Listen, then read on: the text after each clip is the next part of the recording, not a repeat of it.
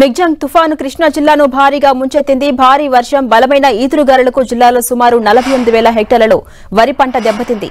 తుఫాను ధాటికి రాష్ట్ర వ్యాప్తంగా ఏడు వేల కోట్ల రూపాయల మేర పంట నష్టం జరిగినట్టు తెలుస్తోంది. తడిసిన ధాన్యాన్ని కొంటామని ప్రభుత్వం ప్రకటించినా మిల్లలు సహకరించట్లేదని రైతులు ఆవేదన వ్యక్తం చేస్తున్నారు. తమకు నష్టపరిహారం అందించి ప్రభుత్వం ఆదుకోవాలని వారు వేడుకుంటున్నారు.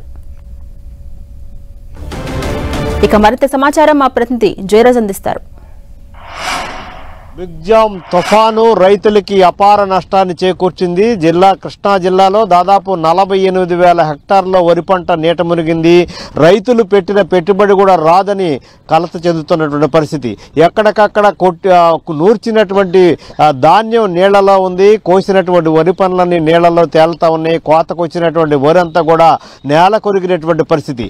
మనం చూస్తే రైతులు వచ్చినటువంటి ధాన్యాన్ని ఇట్లా కుప్పలుగా పోసి తడిసినటువంటి ధాన్యాన్ని చూసి కుమిలిపోతున్నటువంటి పరిస్థితి. ధాన్యం చూస్తే ఇంకా ఇంకొక రోజు అయితే ఈ ధాన్యం దాదాపు మొలకొచ్చేటటువంటి పరిస్థితి. ప్రభుత్వం దీనిపైన ఇప్పటి వరకు కూడా ఏ అధికారి కూడా ఈ ప్రాంతానికి రావటం కానీ దీనికి సంబంధించినటువంటి ఏం చేస్తారనేటువంటి అంశం గురించి కానీ మాట్లాడిన ఆ పరిస్థితులు అయితే లేదు. ఒకవైపు ప్రభుత్వం ప్రతి గింజను కూడా కొనుగోలు చేస్తామని చెప్తున్నప్పటికి కూడా రైతుకి ఆ భరోసా అయితే ఎక్కడ లేదు.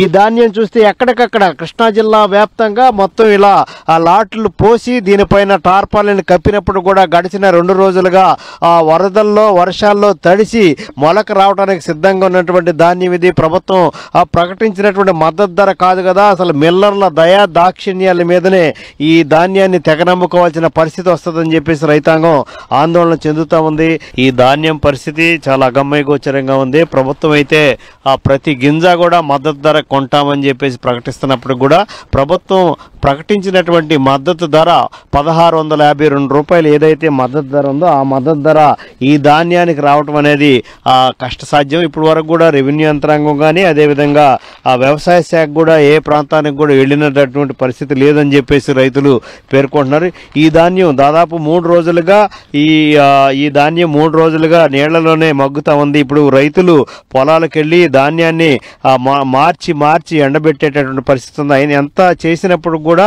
ఈ దీంట్లో ఉన్నటువంటి తేమ శాతం ఎంత తగ్గినప్పుడు కూడా మిల్లర్లు వాళ్ళకి కావలసినటువంటి ధర ఇస్తారు తప్ప ప్రభుత్వం నిర్దేశించిన ధర ఇచ్చేటటువంటి పరిస్థితి అయితే ఉండదు. దీనివల్ల పెట్టిన పెట్టుబడి దాదాపు ఎకరానికి ఇరవై నుంచి ముప్పై వేల రూపాయల ఆ నష్టాన్ని చవి చవి చూడాల్సిన పరిస్థితి వస్తుంది. మరో మరొక వైపు దీనికి సంబంధించినటువంటి ప్రభుత్వం వైపు నుంచి ఇప్పటి వరకు కూడా ఏ రకమైనటువంటి ప్రకటన రాలేదు.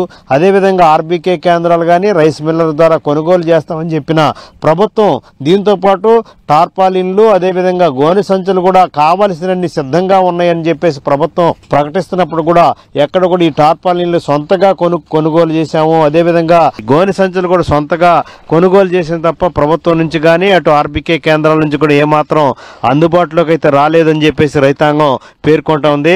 ఇప్పటికైనా ప్రభుత్వం పూర్తి స్థాయిలో ఆ కళ్ళాల్లో ఉన్నటువంటి ధాన్యాన్ని మొత్తం పరిశీలించడం వాటిని ఆర్బీకే కేంద్రాల ద్వారా రైస్ మిల్లర్కి తరలించడం కావాల్సిన ప్రభుత్వం ఏదైతే మద్దతు ధర ప్రకటించిందో. అది వచ్చేలాగా చేయటం మధ్యలో ఉన్నటువంటి దళారుల ప్రమేయం లేకుండా అదేవిధంగా మిల్లర్ల ఇష్టారాజ్యంగా కాకుండా ప్రభుత్వం దగ్గరుండి అధికార యంత్రాంగం దగ్గరుండి ఈ ధాన్యాన్ని కొనుగోలు చేస్తే తప్ప ఇప్పుడు ఉన్నటువంటి మి- తుఫాను ప్రభావిత ప్రాంతాల్లో రైతాంగం కోలుకోవాలంటే ధాన్యాన్ని ప్రతి గింజను కూడా ప్రభుత్వం చేసిన ప్రకటన ఆధారంగా కొనుగోలు చేస్తే తప్ప రైతులు కోలుకునే పరిస్థితి ఉండదు. దీంతో పాటు రెండో పంటగా వేసినటువంటి చాలా ప్రాంతాల్లో రెండో పంటగా మినుమేశారు. మినుము ఆ, మొలక దశలో ఉంది. మొలకెచ్చినటువంటి పరిస్థితులు అవి కూడా మూడు రోజులుగా నీళ్ళలోనే నానుతున్నటువంటి పరిస్థితులు అవన్నీ కూడా కుళ్ళిపోయే దశకు వచ్చినట్టుగా రైతాంగం చెబుతా ఉంది.